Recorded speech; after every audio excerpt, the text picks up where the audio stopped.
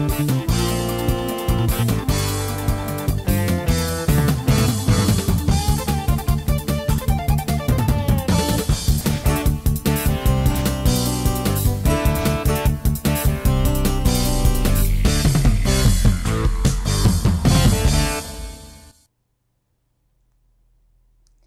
chào quý khán thính giả đang lắng nghe chương trình Phật Pháp của Bồ Đề Phật Quốc TV. Sau đây, quan viên và Phật tử Lệ Đạo sẽ phổ biến bản tin một ngày tu học bát quan trai giới tại Bồ Đề Phật Quốc. Kính thưa quý khán thính giả, vào ngày 14 tháng 9 âm lịch vừa qua, đúng 8 giờ 30 phút sáng, các giới tử trong chúng bát quan trai tại Bồ Đề Phật Quốc đồng quỳ xuống tác bạch cầu xin được lãnh thọ giới Pháp Thượng tọa giáo sư đã hoan hỷ hứa khả và lần lượt hướng dẫn các giới tử sám hối, thọ tam quy, tam kiết. Tiếp đến, các giới tử cung kính lắng nghe và lãnh thọ tám giới tướng để thực hành hạnh xuất gia trong một ngày đêm.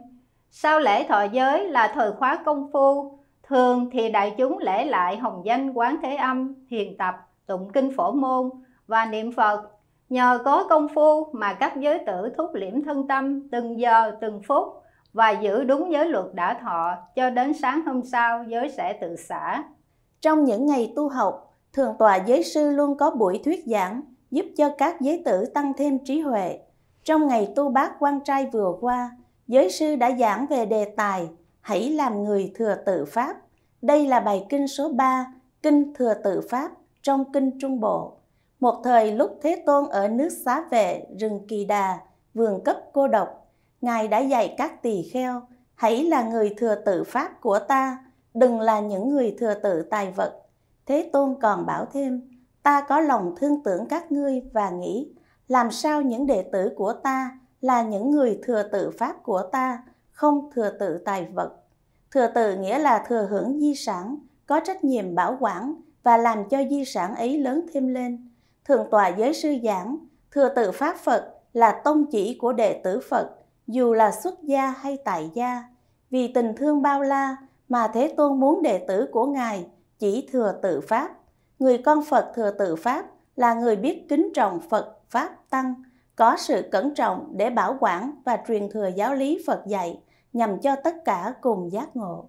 Theo Kinh Văn, Đức Thế Tôn dạy, nếu đệ tử mà thừa tự tài vật thì người ta nói cả thầy và trò đều là những người thừa tự tài vật. Thượng tọa giáo sư giảng rộng ra rằng thừa tự tài vật nghĩa là thừa tự ngũ dục, bao gồm tài, sắc, danh, thực, thùy. Ngũ dục chỉ khiến cho con người sinh ra hiềm khích, đấu đá, tranh chấp, tranh đoạt, hơn thua, tạo bao nhiêu nghiệp xấu ác để rồi trôi lăn trong luân hồi. Đây là những kẻ mà đời sau sẽ bị người khác chơi trách cả thầy lẫn trò sẽ làm hại chánh pháp kẻ muốn thừa hưởng tài vật là những kẻ mượn đạo tạo đời không chân chánh tu hành theo như lời thế tôn dạy bảo ngược lại đệ tử nếu thừa tự pháp thì người ta nói cả thầy và trò là những người thừa tự pháp đây chính là những người tu hành chân chánh biết từ bỏ lối sống phóng dật không chạy theo ngũ dục khiến cho chánh pháp trường tồn Đức Thế Tôn kể cho các đệ tử nghe về câu chuyện thừa tự Pháp hay thừa tự tài vật. Một lần sau khi Ngài thọ thực thì còn lại một ít thức ăn dư. Lúc ấy có hai vị tỳ kheo đến, cả hai đều đói lả, kiệt sức. Một vị tỳ kheo nghĩ nếu không ăn thức ăn thừa này thì Thế Tôn cũng đem bỏ. Nhưng Thế Tôn có dạy tỳ kheo hãy là người thừa tự Pháp, đừng là người thừa tự tài vật. Thức ăn này là loại tài vật, vậy ta không ăn Vị tỳ kheo ấy trải qua một ngày đêm đói lả và kiệt sức. Tỳ kheo thứ hai nghĩ, Thế Tôn đã ăn xong, vậy ta hãy ăn thức ăn thừa để trừ bỏ đói lả và kiệt sức. Vậy là vị tỳ kheo thứ hai đã ăn thức ăn thừa để trừ bỏ đói lả và kiệt sức. Thế Tôn cho biết, vị tỳ kheo đầu tiên đáng được kính nể, đáng được tán thán. Vì như vậy, vị tỳ kheo ấy trong thời gian lâu ngày sẽ thuần thục với pháp ít dục, biết đủ, biết sống khổ hạnh, dễ nuôi dưỡng, tinh cần, tinh tấn, xứng đáng là người thừa tự Pháp của Như Lai. Sau khi Thế Tôn đã lui vào tịnh xá, Tôn giả xá lợi Phất hỏi các tỳ kheo, Này các hiền giả, như thế nào là vị đạo sư sống viễn ly mà các đệ tử không tùy học viễn ly? Như thế nào vị đạo sư sống viễn ly và các đệ tử tùy học viễn ly? Các vị tỳ kheo đều bạch xin tôn giả xá lợi Phất, hãy thuyết giảng về nghĩa lý của câu nói ấy và các tỳ kheo sẽ thọ trì. Tôn giả xá lợi Phất dạy như sau. Có ba trường hợp đáng bị quở trách. Đó là những thượng tọa tỳ kheo, trung tọa tỳ kheo và các vị mới thọ tỳ kheo đã không tùy học viễn ly. Họ không từ bỏ những pháp nào vì đạo sư đã dạy từ bỏ và họ sống trong sự đầy đủ, lười biếng, dẫn đầu về đọa lạc, bỏ rơi gánh nặng viễn ly. Giáo sư giảng rằng những kẻ không chịu từ bỏ pháp mà Phật dạy từ bỏ sẽ chỉ dựa vào giáo pháp Như Lai tìm cầu lợi dưỡng. Họ sẽ lợi dụng ảnh hưởng của Đức Phật, công đức của lịch đại tổ sư mà vơ vét tài vật làm của riêng. Lâu dần, những kẻ này vì sống trong no đủ dư thừa sẽ lười biếng, không còn học và hành trì giáo pháp. Do đó mà đọa lạc, họ không chịu nổi và buông bỏ gánh nặng viễn ly. Tôn giả xá lời Phất dạy tiếp, những thượng tọa tỳ kheo, trung tọa tỳ kheo và các vị mới thọ tỳ kheo biết tùy học viễn ly, từ bỏ những pháp mà đấng đạo sư dạy nên từ bỏ. Họ không sống trong sự đầy đủ, không lười biếng, bỏ rơi gánh nặng đọa lạc, dẫn đầu về sống viễn ly. Đây là những vị tỳ kheo đáng được tán thán.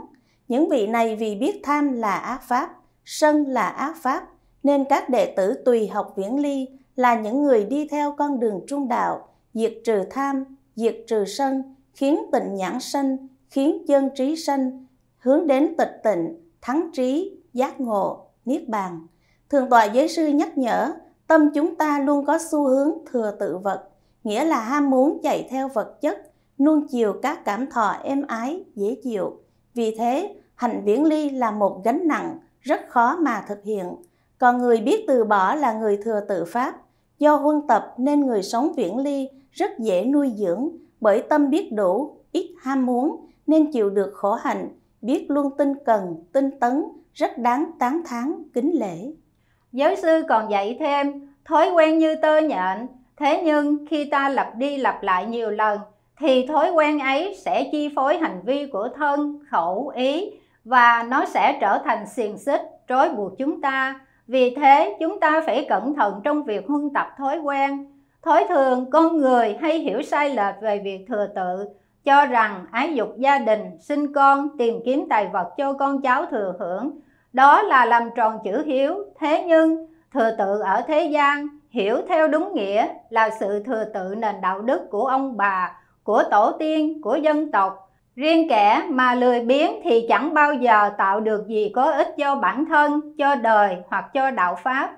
Bởi vì họ luôn trốn tránh trách nhiệm, không nỗ lực, ngại hy sinh, không dám đối mặt trước khó khăn, luôn đùng đẩy trách nhiệm. Kẻ lười biếng sẽ không học hỏi để có thêm kiến thức, cũng không có pháp tích cực hành trì, vì thế mà dẫn đầu trong đọa lạc.